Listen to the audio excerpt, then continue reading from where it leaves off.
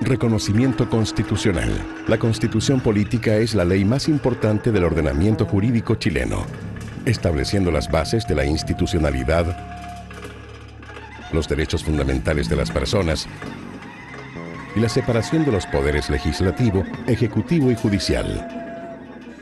La propuesta de reconocimiento constitucional de los pueblos indígenas nace de un antiguo anhelo por parte de los pueblos por ser reconocidos en la constitución política. De esta manera, Chile completa la Carta Fundamental al reconocer y valorar a nuestros pueblos indígenas, así como su aporte y contribución en la conformación del país, promoviendo el respeto a su identidad, cultura y tradiciones. Expresa la diversidad cultural como una riqueza de nuestra sociedad y permite sentir el aporte que son los pueblos indígenas al país entero. Este reconocimiento significará para todos los ciudadanos la base para reconocer nuestras raíces y valorarlas.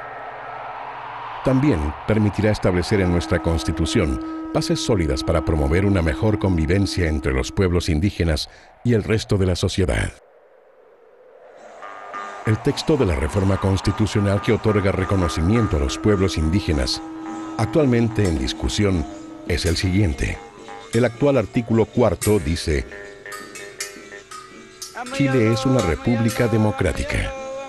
Se propone agregar esta frase al artículo quinto y un nuevo artículo cuarto que señala, la nación chilena es una, indivisible y multicultural. El Estado reconoce la existencia de los pueblos indígenas que habitan su territorio y el derecho de sus comunidades, organizaciones e integrantes a conservar fortalecer y desarrollar su identidad, cultura, idiomas, instituciones y tradiciones, y a participar en la vida económica, social, política y cultural del país en la forma que establece el orden jurídico nacional. Los pueblos indígenas podrán organizar su vida de acuerdo a sus costumbres, siempre que ello no contravenga la Constitución y las leyes.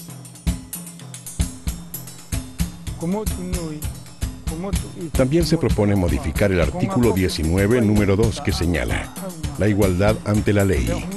En Chile no hay persona ni grupo privilegiado. En Chile no hay esclavos. Y el que pise su territorio queda libre. Hombres y mujeres son iguales ante la ley. La última frase quedaría de la siguiente manera. Hombres y mujeres, cualquiera sea su origen étnico o racial, son iguales ante la ley. Finalmente, la propuesta incluye agregar al artículo 19, número 24, que trata el Estatuto de la Propiedad, el siguiente párrafo. La ley protege la propiedad sobre las tierras de las personas y comunidades indígenas y sus derechos de aprovechamiento de aguas conforme lo establecido en la Constitución y las leyes. El material que acabas de ver corresponde a la propuesta de reconocimiento constitucional. A continuación te invitamos a compartir tu opinión, observaciones y propuestas con respecto a este proyecto para acordar el texto definitivo, porque tu voz y la de tu comunidad se deben escuchar.